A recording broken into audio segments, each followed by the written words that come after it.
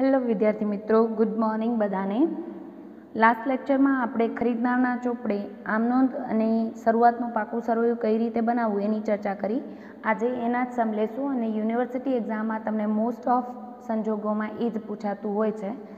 આપણે લઈએ છીએ દાખલા નંબર બાવીસ.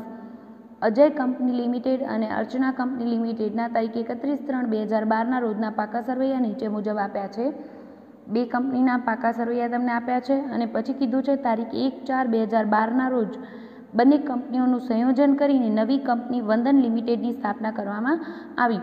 એટલે અજય અને અર્ચના લિમિટેડનું આપણે સંયોજન કરીને નવી કંપની વંદન લિમિટેડ અસ્તિત્વમાં આવી છે. એટલે ખરીદનાર કંપની કોણ આવશે? વંદન અને વેચનાર કંપની અજય અને અર્ચના લિમિટેડ. પછી કીધું છે અજય લિમિટેડ માટે પાઘડીની કિંમત અજય લિમિટેડની વિગત આપી છે ને પછી આપણે અર્ચના લિમિટેડની વિગત આપી છે, બરાબર? અજય લિમિટેડમાં કીધું છે, પાઘડીની કિંમત છેલ્લા ચાર વર્ષના કુલ નફાની બમણી ગણવાની છે. કંપનીનો છેલ્લા ચાર વર્ષનો નફો તમને સરેરાશ નફો સાડત્રીસો પચાસ આપ્યો છે. જમીન મકાનની ચોપડી કિંમત બજાર કિંમત કરતાં ત્રીસ ટકા વધુ છે. જમીન મકાન બજાર કિંમતે જ લેવાના છે. પંદર હજાર સુધીની રોકડ અને રોકાણો લેવાના નથી. અને કિંમત અન્ય મિલકત અને દેવા આપણે ચોપડી કિંમતે લેવાના છે. પછી કીધું છે, ધંધાની ખરીદ કિંમત નીચે મુજબ ચૂકવાશે. ઉપર મિલકતોની વિગત હતી. પછી ખરીદ કિંમતની ચૂકવણીમાં કીધું છે, આઠ હજાર ઇક્વિટી શેર દરેક રૂપિયા દસનો છે એ શેર દીઠ બારના ભાવે આપશું. એટલે ખરીદનાર કંપની આપશે. વંદન લિમિટેડ બારના, બાર પોઈન્ટ પાંચ ટકાના ડિબેન્ચર એટલી સંખ્યામાં આપવા કે જેથી અજય લિમિટેડના ડિબેન્ચર હોલ્ડરોને વ્યાજનું નુકસાન ન થાય. ડિબેન્ચરનો ટોપિક દરેક સમમાં આવશે જ. એટલે એમાં કદાચ તમને ડાઉટ હોય તો ખાસ મને જણાવશો. પછી કીધું છે બાકીની રોકડ આપવી. હવે મેં તમને કીધું હતું કે દરેક દાખલામાં આપણે પહેલે ખરીદ કિંમતની ગણતરી કરશું, પછી વેચનારના ચોપડે પૂછ્યું હોય તો આમ નોંધ અને ખાતા તૈયાર કરશું અને ખરીદનારના ચોપડે પૂછ્યું હોય તો આમ નોંધ અને પાકું સ્વરૂપ તૈયાર કરશું. પણ દરેક દાખલામાં પહેલે ખરીદ કિંમતની ગણતરી તો હશે જ. અને ખરીદ કિંમતની પદ્ધતિ કઈ છે એ આઈડેન્ટિફાઈ કેમ કરવું? તો કે આપણે કીધું છે બાકીની રોકડ આપવી. એટલે હવે જ સ્પષ્ટ થતો નથી કે કેટલા આપશે. એટલે કઈ પદ્ધતિ આવશે? ચોખ્ખી મિલકતની પદ્ધતિ. અને બીજું કે જ્યારે પાઘડીની કિંમત પણ આપી દીધી હોય ને, ત્યારે પણ ચોખ્ખી મિલકતની જ પદ્ધતિ આવે. આ બે ઇન્ટ છે. પાઘડીની કિંમત આપેલી હોય તમને હવાલાઓમાં અને બીજું કે અવેજ સ્પષ્ટ ન થતો હોય, બાકીની રોકડ આપી દેટ મીન્સ અવેજ સ્પષ્ટ નથી થતો કે કેટલા આપ્યા, એટલે આપણે કઈ પદ્ધતિ લેવી? ચોખ્ખી મિલકતની પદ્ધતિ. હવે બે વેચનાર હોય ત્યારે એવું એવું જરૂરી નથી કે એકની ચોખ્ખી મિલકતની પદ્ધતિ આવે તો બીજાની પણ ચોખ્ખી મિલકતની જ પદ્ધતિએ ખરીદ કિંમત થાય. અલગ પણ હોઈ શકે, બરાબર? જોઈ લઈએ, અર્ચના લિમિટેડમાં શું કીધું છે? અર્ચના લિમિટેડના પાંચ શેરના બદલામાં વંદન લિમિટેડના છ ઇક્વિટી શેર દરેક રૂપિયા દસનો બારના ભાવે આપવાના છે. અર્ચના લિમિટેડના પ્રત્યેક ઇક્વિટી શેર દીઠ બે રૂપિયા રોકડા આપવાના. આપણે ઇક્વિટી શેરના બદલામાં ઇક્વિટી શેર તો આપશે, પણ રોકડા કેટલા આપશે એ પણ કહી દીધું છે. બરાબર? એટલે ધેટ મીન્સ આ કઈ પદ્ધતિ છે? અવેજ પદ્ધતિ. મેં એટલે જ આ દાખલો ચૂઝ કર્યો છે કે જેમાં તમને બંને પદ્ધતિઓ ખરીદ કિંમતની ગણતરી પણ આવી જતી હોય. બરાબર? અને મિલકતો અલગ અલગ કિંમતે લેતા હોઈએ ત્યારે. અર્ચના લિમિટેડના બાર પોઈન્ટ પાંચ ટકાના એટલી કિંમતના ડિબેન્ચર આપવા કે જેથી અર્ચના લિમિટેડના ડિબેન્ચર હોલ્ડરોને વ્યાજનું નુકસાન ન થાય. મશીનરી પચાસ ટકા વધુ કિંમતે અને સ્ટોક પચીસ ટકા વધુ કિંમતે ગણવાનો છે. બાકીની મિલકતોને દેવા ચોપડે કિંમતે લઈ લેવાના છે. વંદન લિમિટેડના ચોપડે જરૂરી આમનોંધ લખો અને એક ચાર બે હજાર બારના રોજનું શરૂઆતનું પાકું સર્વે પણ તૈયાર કરો. એટલે આપણે ખરીદનારના ચોપડે નોંધો કરવાની કીધી છે. આપણે પહેલે શું કરશું? ચોખ્ખી મિલકતની સોરી ખરીદ કિંમતની ગણતરી જે પદ્ધતિએ કીધી હોય બંનેની. લઈ લઈએ.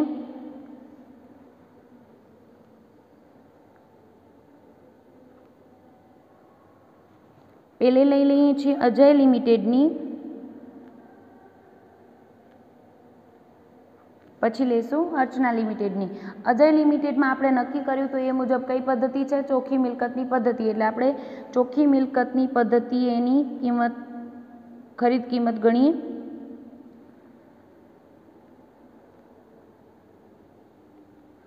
ચોખ્ખી મિલકતની પદ્ધતિ એટલે શું? ચોખ્ખી મિલકતો બરાબર લઈ લીધેલ મિલકત માઇનસ લઈ લીધેલ દેવા. ચોખ્ખી મિલકત એટલે જનરલી આપણે એમ બોલતા હોઈએ મિલકત માઇનસ દેવા એટલે ચોખ્ખી મિલકત. પણ અહીંયા લઈ લીધેલ મિલકત માઇનસ લઈ લીધેલ દેવા. જે ખરીદનાર કંપની, વેચનાર કંપનીની કઈ મિલકતો જેટલી મિલકતો લેતી હોય એ જ અહીંયા સમાવેશ કરાય. જે મિલકત લેતી નથી એનો સમાવેશ અહીંયા નથી થતો. એટલે લઈ લીધેલ મિલકત અને લઈ લીધેલ દેવા તેમજ કઈ કિંમતે? લઈ લીધેલી કિંમતે. પચાસ હજારની વસ્તુ હોય પણ ખરીદનાર ચાલીસ હજારમાં લે. તો આપણે અહીંયા ગણતરીમાં એ કિંમત લેવાની છે. આપણે વન બાય વન આપી દીધા છે. એ લેતા જઈએ. મિલકતો. લઈ લીધેલ મિલકતોમાં વન બાય વન લઈએ તો કીધું છે પાઘડી. પાઘડીની કિંમત છેલ્લા ચાર વર્ષના કુલ નફાથી બમણી ગણવાની છે અને કંપનીનો છેલ્લા ચાર વર્ષનો સરેરાશ નફો સાડત્રીસ પચાસ છે. આપણે કુલ નફાથી બમણી લેવાની છે. એટલે આપણે સાડત્રીસો પચાસ સરેરાશ નફો છે ગુણ્યા ચાર કરીએ એટલે આપણે કુલ નફો મળી જાય પંદર હજાર એનાથી બમણી લેવાની છે એટલે ગુણ્યા બે કરશો એટલે તમને પાઘડીની કિંમત કેટલી મળશે? ત્રીસ હજાર. પછી કીધું છે એટલે ઉતાવળમાં ઘણીવાર વિદ્યાર્થીઓ શું કરતા હોય છે? પાઘડીની કિંમત છેલ્લા ચાર વર્ષથી બમણી ગણવાની છે. એટલે નફો આપ્યો છે સાડત્રીસો પચાસ ગુણ્યા બે કરી નાખે. પણ નફો આપણે આપ્યો છે સરેરાશ નફો. એટલે આપણે કુલ નફાની બમણી લેવાની છે. એટલે સરેરાશ નફો ગુણ્યા ચાર કરીએ એટલે કુલ નફો ગુણ્યા બે કરીએ એટલે બમણી પાઘડી મળી જશે. એના પછી આપ્યું છે જમીન મકાનની ચોપડે કિંમત, બજાર કિંમત કરતાં ત્રીસ ટકા વધુ છે. અને જમીન મકાન બજાર કિંમતે લેવાના છે. તો આપણે લખી નાખીએ, જમીન મકાન બજાર કિંમતે લેવાના છે ને બજાર એમ કીધું છે, જમીન મકાનની ચોપડી કિંમત બજાર કિંમત કરતાં ત્રીસ ટકા વધુ છે. જેના ટકાવારી આપી હોય એને આપણે સુધારીએ. સો, એટલે સપોઝ કે બજાર કિંમત સો હોય, તો એના કરતાં ત્રીસ ટકા વધુ વધુ એટલે આપણે કરશું એડ. ચોપડે કિંમત કેટલી છે? એકસો ત્રીસ. બરાબર? તો ચોપડે કિંમત કેટલી થાય? એકસો ત્રીસ. તો તમે ત્રિપડી શું માનશો? એકસો ત્રીસ ચોપડે કિંમત. એકસો ત્રીસ ચોપડે કિંમત હોય ત્યારે બજાર કિંમત કેટલી છે? સો. તો ચોપડે કિંમત તમને અજય લિમિટેડની જમીન મકાનની આપી છે પાસઠ હજાર. ત્યારે બજાર કિંમત કેટલી? એટલે તમને મળે પચાસ હજાર. સેના ઉપર ટકાવારી આપી છે. એ ખાસ ધ્યાન રાખજો. આપણે શબ્દ વાપર્યો છે, જમીન મકાનની ચોપડે કિંમત બજાર કિંમત કરતાં ત્રીસ ટકા વધુ છે. કોના કરતાં વધુ? બજાર કિંમત કરતાં. જેની ટકાવારી આપી હોય એને સો ધારવાના એટલે બજાર કિંમત સો છે. એના કરતાં વધુ એટલે એડ કરશું ત્રીસ સોના ત્રીસ ટકા એટલે ત્રીસ રૂપિયા. તો ચોપડે કિંમત કેટલી થાય? એકસો ત્રીસ. હવે ચોપડી કિંમત આપણી પાસે છે એટલે આપણે મૂક્યું એકસો ત્રીસ ચોપડી કિંમત હોય ત્યારે બજાર કિંમત સો. તો ચોપડી કિંમત પાસઠ હજાર હોય ત્યારે બજાર કિંમત કેટલી? એટલે તમને મળી ગયા પચાસ હજાર. પછી શબ્દ વાપર્યો છે, ત્રીજું કીધું છે, પંદર હજાર સુધીની રોકડ અને રોકાણો લેવાના નથી. એટલે રોકાણો તો લેવાના નથી અને રોકડ કેટલી? પંદર હજાર સુધીની નથી લેવાની, બાકી લેવાની છે. એટલે આપણે અહીંયા કરી નાખશું. અજય લિમિટેડમાં રોકાણોમાં ક્લિયર જ ચોકડી મારી દેશું. એટલે ભૂલથી પણ તમે ચોપડી કિંમતે બીજા કન્સિડર કરો, ત્યારે લેવાઈ જાય નહીં. રોકડ કિંમતમાં પણ શું કીધું છે? પંદર હજાર સુધીની નથી લેવાની. તો ચાલીસ હજાર છે, એમાંથી પંદર હજાર નથી લેવાના, બાકીના લઈ લઈએ. ચાલીસ હજાર માઇનસ પંદર હજાર એટલે પચીસ હજાર રોકડ લીધી છે, બરાબર? એના પછી આપણે કીધું છે, રોકાણો પણ લેવાના નથી અન્ય મિલકત અને દેવા ચોપડે કિંમતે લેવાના છે. લઈએ વન બાય વન, અજય લિમિટેડના પાકા સરવૈયામાં આપણે વન બાય વન લેતા જઈએ જમીન મકાન લેવાઈ ગયું છે, મશીનરી આપી છે પચીસ હજાર. તો લખી નાખશું મશીનરી પચીસ હજાર. પછી રોકાણો લેવાના નથી. ખાસ અહીંયા જ્યારે તમને હવાલામાં કીધું હોય કે નથી લેવાનું, તો ચોકડી કરી નાખવાની, જેથી ભૂલથી ના લેવાય જાય. સ્ટોક કીધો છે પચીસ હજાર.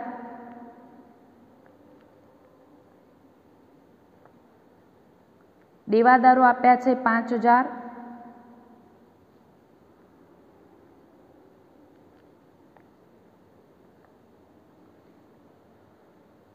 રોકડ આવી ગઈ, પ્રાથમિક ખર્ચ, અવાસ્તવિક મિલકત ક્યારે લેવાય નહીં. ખરીદનાર વ્યક્તિ, કંપની, ખરીદનાર કંપની વેચનારનું શું નથી લેતો?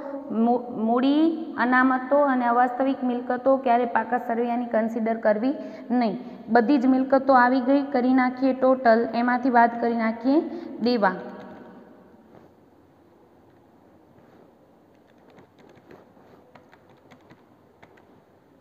તમને મળશે એક લાખ સાઠ હજાર મિલકતોનું ટોટલ.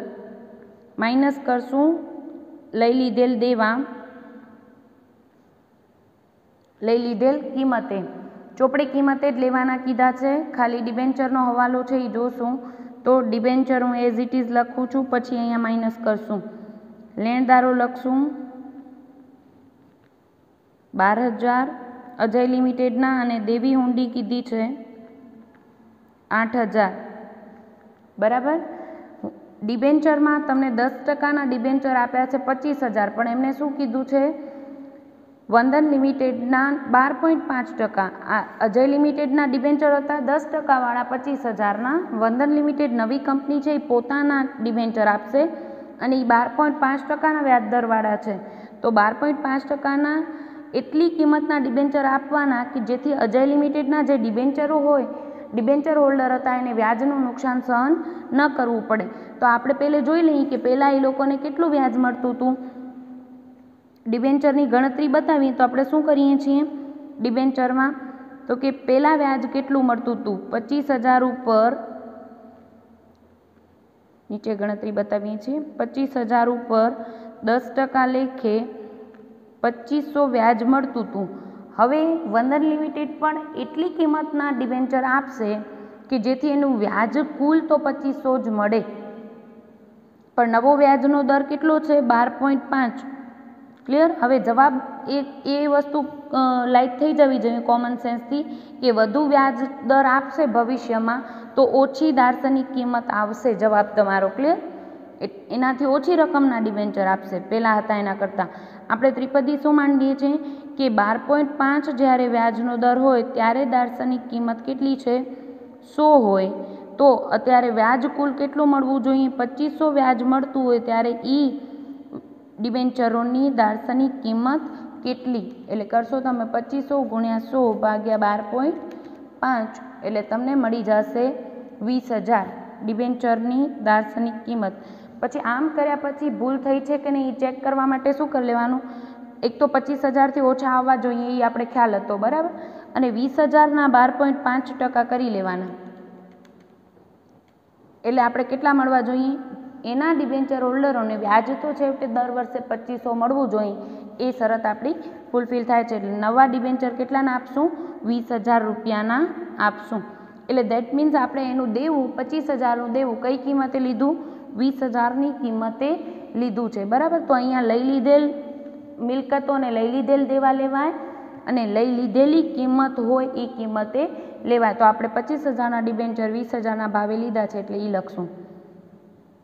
દેવાનું ટોટલ થાય છે ચાલીસ હજાર, એક લાખ સાઠ હજારની મિલકતો એમાંથી દેવા માઇનસ કરી નાખીએ તો આપણે મળશે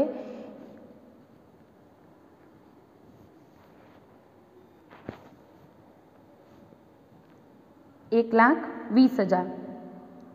બે જ મિનિટ, એક વસ્તુ રહી ગઈ છે કરેક્શન કરજો. પીએફ પ્રોવિડન્ટ ફંડ એ પણ દેવું છે અને એ તમને અજય લિમિટેડમાં આપ્યું છે વીસ હજાર. એટલે તમારું ટોટલ થશે દેવાનું સાઠ હજાર. પ્રોવિડન્ટ ફંડ એ દેવું છે, ખાસ ધ્યાન રાખજો. કારીગર અકસ્માત વળતર ફંડ એ આપણે જાણીએ છીએ, એમ અનામત છે, પણ પ્રોવિડન્ટ ફંડ છે એ કંપનીનું દેવું છે. કર્મચારીઓને ભેગી થયેલી રકમ છે, બરાબર? એટલે પ્રોવિડન્ટ ફંડ દેવામાં લેવાનું રહી ગયું હતું. કરેક્શન કરજો. એક સાહીઠમાંથી સાહીઠ હજાર બાદ કરીએ એટલે એક લાખ તમારી શું આવી? ચોખ્ખી મિલકતો. હવે ચોખ્ખી મિલકત હોય ત્યારે પણ આપણે અવેજની ગણતરી તો કરવી જ પડે કે દેટ મીન્સ આ અજય લિમિટેડનો એક લાખમાં ધંધો લીધો. બદલામાં અવેજ શું આપ્યો? ખરીદ કિંમતની ચૂકવણી. કઈ રીતે કરી છે? તો આપણે દાખલામાં કીધું છે કે વંદન લિમિટેડે આઠ હજાર શેર દરેક રૂપિયા દસનો બારના ભાવે આપ્યા છે. એટલે આપણે કરશું આઠ ઇક્વિટી શેર આઠ હજાર ગુણ્યા દસ, દાર્શનિક કિંમત એંસી હજાર અને આઠ હજાર ગુણ્યા બે બારના ભાવના આપ્યા છે. એટલે બે રૂપિયા પ્રીમિયમથી એટલે સોળ હજાર પ્રીમિયમ આમ છન્નું હજારના શેર આપ્યા છે. અને પછી કીધું છે બાકીની રકમ રોકડેથી. દેટ મીન્સ ટોટલ કેટલા આપવાના થતા હતા? એક લાખ રૂપિયા. ચોખ્ખી મિલકતો કેટલી આવી હતી તમારી? એક લાખ એને આપવાના થાય. તો છન્નું હજારના શેર. બાકીની રોકડ. બાકીની રોકડ કેટલી આવશે? ચાર હજાર. કુલ એક લાખ ચૂકવવાના છે. એમાંથી છન્નું હજારના શેર. તો ચાર હજારની રોકડ. ક્લિયર એટલી અવેજ પેટે આપશે. અથવા તો કહી શકાય કે ખરીદ કિંમતની ચૂકવણી કરશે. સેમ વે આપણે અર્ચના લિમિટેડની ગણતરી કરી લઈએ. ખરીદ કિંમતની ગણતરી. અને આ સમ એટલે જ લીધો છે કે ખરીદ કિંમત એવું જરૂરી નથી કે એક એક કંપનીની ચોખ્ખી મિલકતની પદ્ધતિએ ગણતરી થાય તો બીજાની પણ ચોખ્ખી મિલકતની પદ્ધતિએ થાય એવું જરૂરી નથી. આપણે જોયું એમ, અર્ચના લિમિટેડમાં શું છે? અવેજ પદ્ધતિએ ગણતરી કરવાની છે. તો બ્રેકેટમાં લખી નાખશું. અવેજ પદ્ધતિ. પછી અવેજમાં, અવેજ પદ્ધતિઓ એટલે પહેલાં અવેજની ગણતરી કરીએ. શું આપ્યું છે? અર્ચના લિમિટેડના પાંચ શેર સામે વંદન લિમિટેડ છ શેર આપે છે. અને બાર રૂપિયાના ભાવથી આપે છે. આપણે જોઈએ, પાંચ શેરના બદલામાં છ શેર. તો અર્ચના લિમિટેડના શેર કેટલા હતા? તો કે પાકા સરવૈયામાં જોઈ લઈએ, અર્ચના લિમિટેડના દસનું એવા પૂર્ણ ભરપાઈ પચાસ હજારના શેર. એટલે પચાસ હજાર રૂપિયા દસનો એક એવા એટલે કેટલા શેર થાય? પચાસ હજાર કુલ ભાગ્યા દસ કરીએ, એટલે એના શેર કેટલા હતા? પાંચ હજારનો, પાંચ હજાર શેર દરેક રૂપિયા દસનો, એમ પચાસ હજારની શેર મૂડી હતી એટલે શેરની સંખ્યા કેટલી છે એની? પાંચ હજાર. અને આપણે કીધું છે અર્ચના લિમિટેડના પાંચ શેરના બદલામાં વંદન લિમિટેડના છ શેર આપવામાં આવશે, તો પાંચ હજારે કેટલા શેર અપાશે છ હજાર શેર મળશે. છ હજાર ગુણ્યા દસ સાઠ હજાર. અને દાર્શનિક કિંમત પટે અને પ્રીમિયમ દસનો શેર બારના ભાવથી આપે છે એટલે બાર હજાર શું આવશે? પ્રીમિયમ બોતેર હજાર તમારી આ રીતે. અને રોકડ કહી દીધી છે એટલે જ આપણે હવે જ પદ્ધતિ હતી, બરાબર? અર્ચના લિમિટેડના પ્રત્યેક ઇક્વિટી શેર દીઠ બે રૂપિયા રોકડા આપવાના છે. તો કેટલા છે અર્ચના લિમિટેડના શેર? પાંચ હજાર. એક શેર દીઠ બે રૂપિયા. એટલે કુલ કેટલા આપશે? દસ હજાર રૂપિયા આપશે. આમ કુલ બ્યાસી હજાર આપણું શું આવ્યું? અવેજ. અહીંયા અવેજ સ્પષ્ટ થતો હતો એટલે આપણે અવેજ પદ્ધતિએ ગણ્યું. અવેજ પદ્ધતિ હોય ત્યારે પણ આપણે ચોખ્ખી મિલકતની ગણતરી તો કરવી જ પડે. શા માટે? તો કે પાકડી છે કે મૂડી અનામત છે એ ગણવા માટે. એટલે આપણે કરશું ચોખ્ખી મિલકતોની ગણતરી.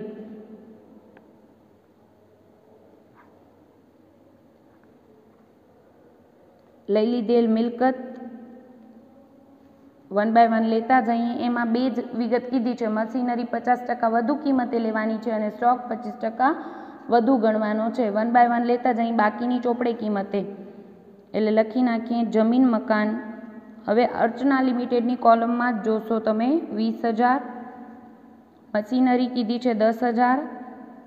અને એ કીધું છે આપણે પચાસ ટકા વધુ કિંમતે. દસ હજારના પચાસ ટકા એટલે પાંચ હજાર વધુ કિંમતે લેવાનો છે. એટલે કેટલામાં લેશું? પંદર હજારમાં. રોકાણો ખાલી અજયના નહોતા લેવાના. આમાં કોઈ સ્પષ્ટતા નથી એટલે લેશું. પણ ઓકે, એમાં છે જ નહીં રોકાણો. ડેશ આપેલું છે, બરાબર? સ્ટોક છે વીસ હજાર. દેવાદારો આપ્યા છે તમને પાંચ હજાર. રોકડ ચાલીસ હજાર. પ્રાથમિક ખર્ચ લેવાય નહીં. બરાબર? ઓકે તો શું આપ્યું હતું હવાલામાં કીધું હતું મશીનરી પચાસ ટકા વધુ કિંમતે અને સ્ટોક પચીસ ટકા વધુ કિંમતે. બે જ મિનિટ, મારી મિસ્ટેક થઈ ગઈ. સ્ટોકમાં કીધું હતું પચીસ ટકા વધુ કિંમતે, એટલે વીસ હજારના પચીસ ટકા એટલે કેટલા થાય? પાંચ હજાર વધુ કિંમતથી, એટલે પચીસ હજારમાં સ્ટોક લેવાનો છે. ટોટલ કરી નાખીએ મિલકતોનું. એક લાખ પાંચ હજાર. એમાંથી માઇનસ કરશું આપણે દેવા. લઈ લીધેલ. દેવા માઇનસ કરીએ. એમાં પણ ડિબેન્ચર સિવાયનું બધું એઝ ઇટ ઇઝ લેવાનું છે. ડિબેન્ચર આપશું, એ જોઈ લેશું. પ્રોવિડન્ટ ફંડ પાંચ હજાર છે.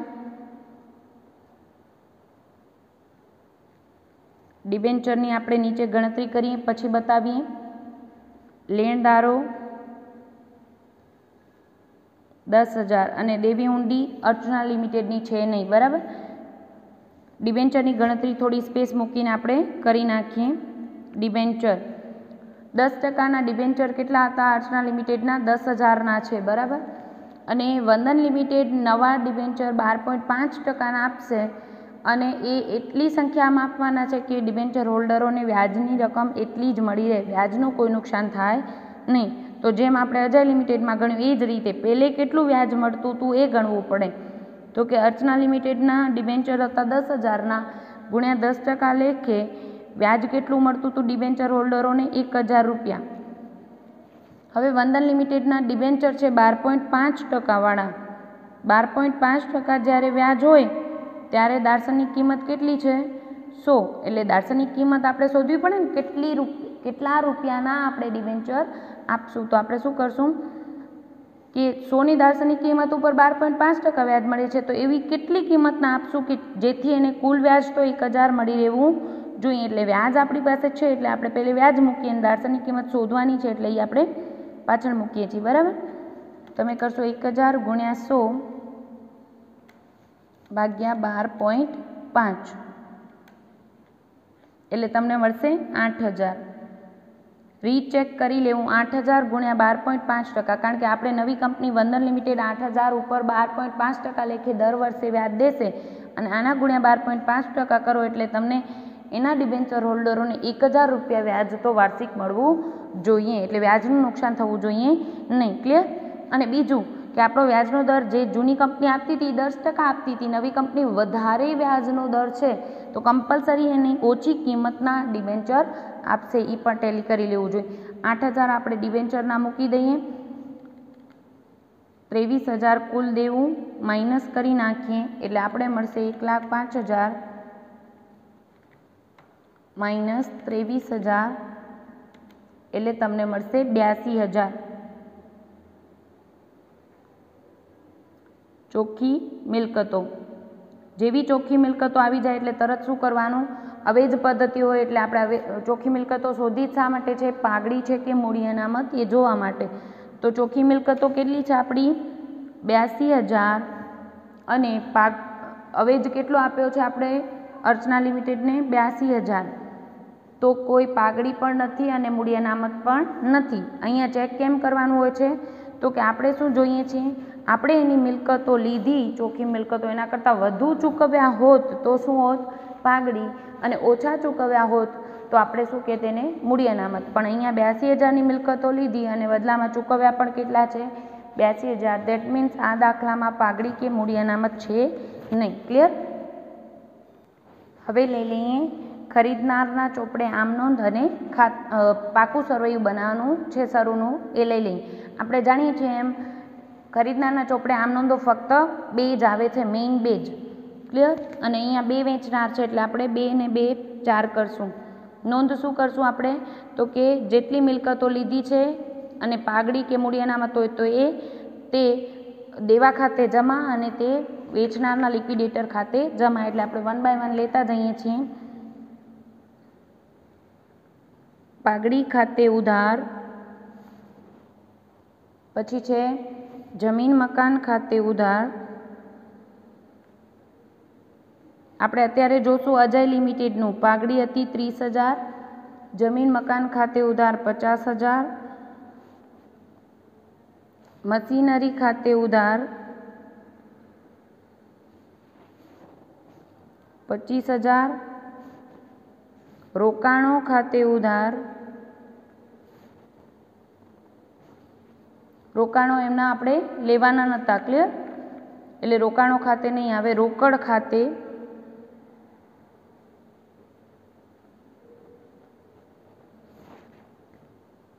રોકડ ખાતે ઉધાર આવશે આપણા પચીસ હજાર, સ્ટોક ખાતે પચીસ હજાર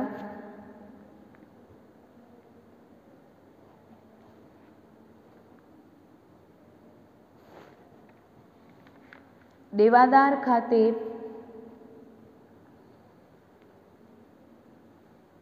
ઉધાર પાંચ હજાર. બધી જ મિલકતો આવી ગઈ. તે બધા દેવા જમા કરી દેશું. પીએફ ખાતે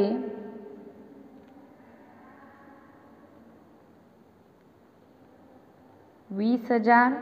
અજય લિમિટેડનું. તે ડિબેન્ચર ખાતે તમે લીધા એમના ડિબેન્ચર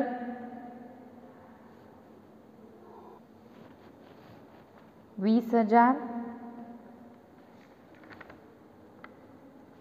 તે લેણદાર અને દેવી હુંડી ખાતે.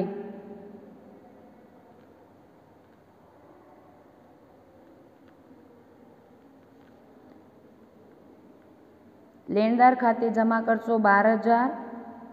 દેવી હુંડી ખાતે જમા આઠ હજાર. તે છેલ્લે કરશું અજય લિમિટેડના લિક્વિડેટર ખાતે ખરીદ કિંમતની રકમ કેટલી આવવી જોઈએ? એક લાખ. ક્લિયર?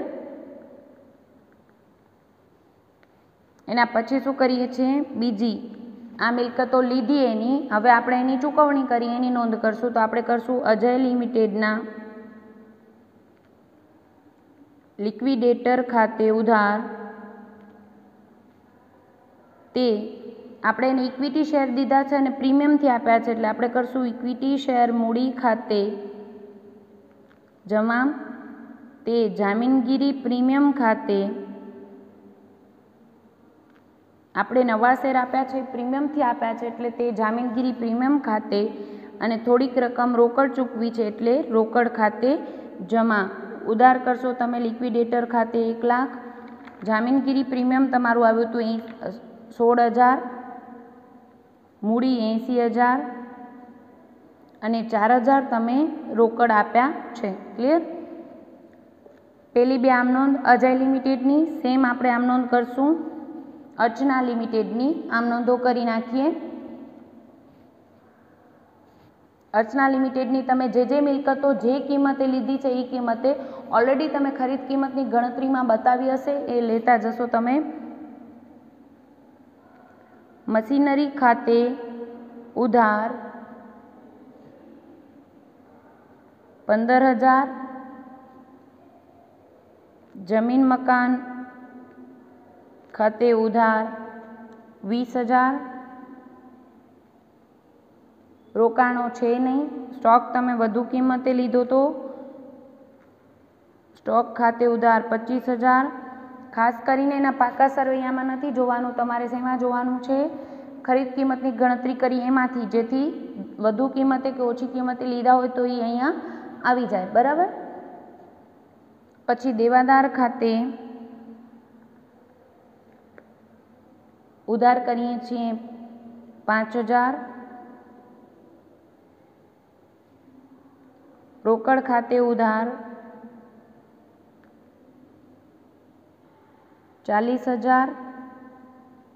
પ્રાથમિક ખર્ચ લેવાના નથી. તે જેટલા દેવા છે એના ખાતે જમા. અને ખાસ કરીને પાઘડી કે મૂડી અનામત આવે તો એ ભૂલી જવાય નહીં, એ ધ્યાન રાખજો. હવે જ પદ્ધતિ હશે તો તમે પાછળથી પાઘડી ગણી હશે તો પાઘડી આવી હોય તો તમે અહીંયા ઉધાર કરશો ને મૂડી અનામત આવી હોય તો તમે જમા કરશો. પીએફ ખાતે જમા અર્ચના લિમિટેડમાં પીએફ છે પાંચ હજાર.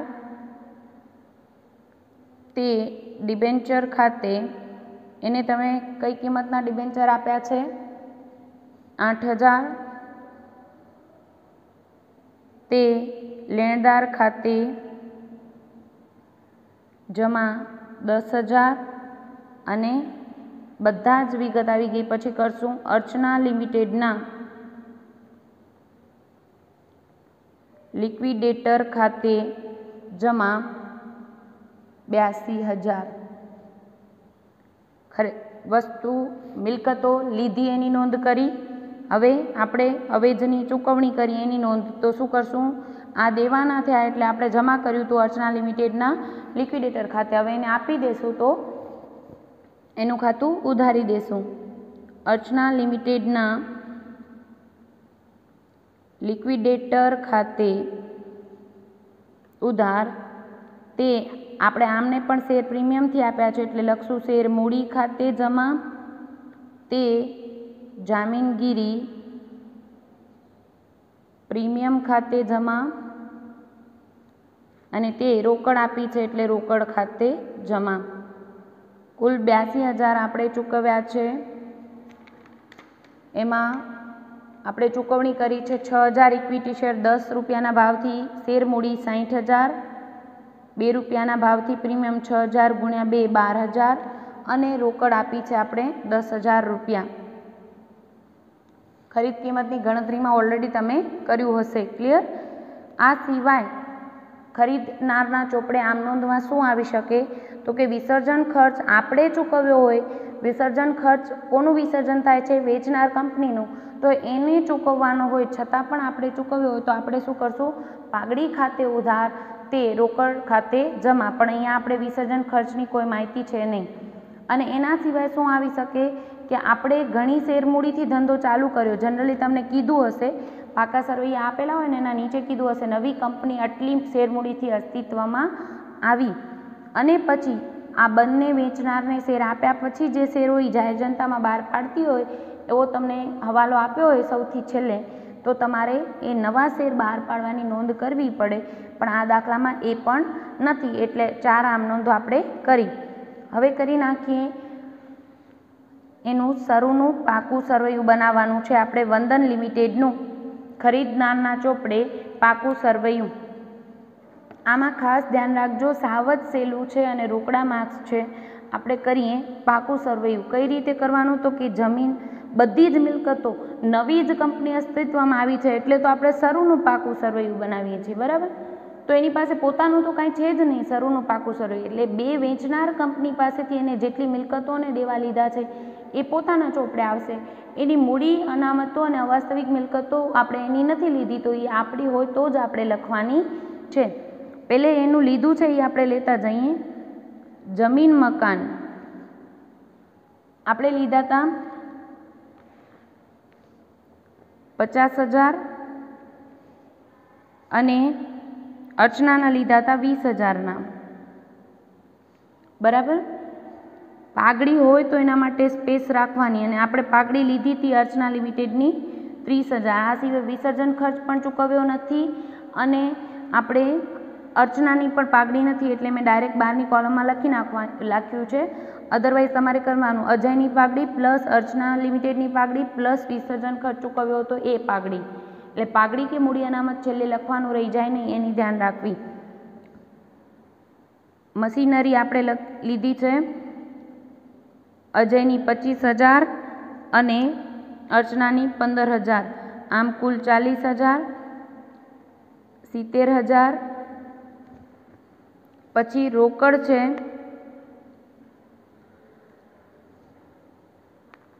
પચીસ હજાર, એવું હોય તો આમ નોંધમાંથી જ વન બાય વન લેતા જવાનું છે. પચીસ હજાર છે અને અર્ચના લિમિટેડની ચાલીસ હજાર છે. હું અહીંયા એઝ ઇટ ઇઝ રાખું છું. આમ તો જનરલી રોકડ બેંક છેલ્લે લખવા જેથી ત્યાં જ ગણતરી બતાવી શકાય. પણ આપણે લખી નાખ્યું છે તો બે લીટીની સ્પેસ રાખીને એના પછી લખું છું સ્ટોક પચીસ હજાર અજય લિમિટેડનો પ્લસ પચીસ હજાર અર્ચના લિમિટેડનો બારની કોલમમાં પચાસ હજાર. પછી છે દેવાદારો બંનેના પાંચ પાંચ હજાર લીધા છે આપણે દેવાદાર. એટલે બારની કોલમમાં લખશું દસ હજાર.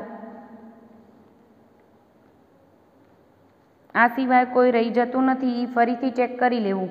પછી આવી જઈ દેવા સાઈડ પીએફ લીધું છે બંનેનું વીસ હજાર અને પાંચ હજાર. બારની કોલમમાં લખશું પચીસ હજાર. ડિબેન્ચર નવા આપણા આપ્યા છે બાર પોઈન્ટ પાંચ ટકાના ડિબેન્ચર હવે આપણા ચોપડે નવા ડિબેન્ચર જ લખાશે. બાર પોઈન્ટ પાંચ ટકાના ડિબેન્ચર આપણે આપ્યા છે. અજય લિમિટેડના ડિબેન્ચર હોલ્ડરોને આપ્યા છે વીસ હજારના ડિબેન્ચર અને અર્ચના લિમિટેડના ડિબેન્ચર હોલ્ડરોને આપણે આપ્યા છે આઠ હજારના ડિબેન્ચર. ટોટલ અઠ્યાવીસ હજારના ડિબેન્ચર આપણા નવા બહાર પાડ્યા છે, બરાબર? લેણદારો કીધા છે. આપણે અજય લિમિટેડના લેણદારો લીધા હતા બાર હજારના અને અર્ચના લિમિટેડના દસ હજારના, એટલે બાવીસ હજાર બારની કોલમમાં દેવી હુંડી ફક્ત અજય લિમિટેડની જ છે, આઠ હજાર લખી નાખશું. અર્ચના લિમિટેડની દેવી હુંડી હતી નહીં. એના મિલકત અને દેવા આપણે લઈ આવ્યા. એ સિવાય શેરમૂડી અનામતો અને અવાસ્તવિક મિલકતો હોય તો આપણી જ લખવી પડે. ક્લિયર એટલે આપણે લખી નાખીએ શેરમૂડી કેટલી? તો કે નવા, નવી શેરમૂડીથી આપણે સ્થાપના કરી નથી. આના શેર હોલ્ડરોને જે આપણે આપ્યું છે, એ જ આપણી શેરમૂડી ગણાશે. તો આપણે હવે જ આપ્યો છે. કેટલો આપ્યો છે? ઇક્વિટી શેરમૂડી ખાતે. અજયને એંસી હજારના એટલે કે આઠ હજાર શેર દરેક રૂપિયા દસનો અને અર્ચના લિમિટેડના ઇક્વિટી શેર હોલ્ડરોને આપણે આપ્યું છે છ હજાર શેર દરેક રૂપિયા દસનો. બરાબર? એટલે આપણે લખશું આપણામાં ઇક્વિટી શેર મૂડી. જાહેર જનતામાં કોઈ બહાર પાડ્યા નથી. આપણે અજય લિમિટેડના શેર હોલ્ડરોને આપ્યા છે એંસી હજારના અને સાહીઠ હજારના ઇક્વિટી શેર કોને આપ્યા છે? અર્ચના લિમિટેડના શેર હોલ્ડરોને અથવા તો એની ખરીદ કિંમતની ચૂકવણી પેટે. અથવા આમ પણ લખી શકાય આઠ હજાર અને છ હજાર એટલે ટોટલ ચૌદ હજાર શેર દરેક રૂપિયા દરેક રૂપિયા દસનો. આવી રીતે લખી શકીએ. અને શેર પ્રીમિયમથી આપ્યા છે એટલે જામીનગીરી પ્રીમિયમ. એટલે લખશું જામીનગીરી પ્રીમિયમ. અજય લિમિટેડમાં સોળ હજારના પ્રીમિયમથી અને અર્ચના લિમિટેડમાં બાર હજારના પ્રીમિયમથી, એટલે આપણું પ્રીમિયમ આવશે અઠ્યાવીસ હજાર. ક્લિયર આ સિવાય બીજી કોઈ વિગત રહેતી નથી. મૂડી અનામત હોય તો અહીંયા લખવી, પણ મૂડી અનામત છે નહીં. આપણો ડિબેન્ચર વટાવ કે એવું કંઈ આવે તો આપણે અહીંયા અવાસ્તવિક મિલકત તરીકે લખીએ, એ પણ અહીંયા છે નહીં. રોકડ જોઈ લઈએ. રોકડ કે બેંકમાં ખાસ ધ્યાન રાખજો એ ભૂલ થવાની શક્યતા. તો આપણે શું કરીએ છીએ? કે નવી કંપની છે એટલે રોકડ બે, ત્રણ રીતે આવી શકે. કઈ ત્રણ રીતે આવી શકે? કાં તો એ બે વેચનાર કંપની પાસેથી આવી હોય કાં જાહેર જનતામાં શેર બહાર પાડ્યા હોય તો આવી હોય. અહીંયા આપણે બંનેની રોકડ લીધી હતી. કેટલી? પચીસ હજાર અને ચાલીસ હજાર. નવા જાહેર ધંધામાં શેર બહાર પાડ્યા નહોતા એટલે ત્યાંથી રોકડ આવી શકે નહીં. પચીસ હજાર અને ચાલીસ હજાર. હવે આપણે એમાંથી કોઈ ચૂકવણી કરી હોય તો આપણે બાદ કરવી પડે તો માઇનસ કરીએ. ચૂકવણી પણ આપણે વધીને ત્રણ જગ્યાએ કરી શકીએ. ક્યાં? તો કે આપણે વેચનાર બંનેને રૂપિયા આપ્યા હોય અને કાં તો વિસર્જન ખર્ચ ચૂકવ્યો હોય. અહીંયા વિસર્જન ખર્ચ આપણે ચૂકવ્યો નથી, એવી કોઈ માહિતી નથી. તો બંનેને ચૂકવ્યા છે. ચૂકવણી પેટે અજયને આપણે ચાર હજાર રૂપિયા અવેજ પેટે ચૂકવ્યા છે અને અર્ચના લિમિટેડને દસ હજાર રૂપિયા આપણે અવેજ પેટે ચૂકવ્યા હતા. તો એ માઇનસ કરી નાખીએ, પચીસ હજાર પ્લસ ચાલીસ હજાર એટલે આપણે મળે પાસઠ હજાર. એમાંથી ચૌદ હજાર માઇનસ કરી નાખીએ એટલે આપણે મળે એકાવન હજાર. કરી નાખીએ, ટોટલ બધું જ આવી જાય, પછી ટોટલ કરીએ. પાકું સરવૈયું ટેલી થઈ જવું જોઈએ.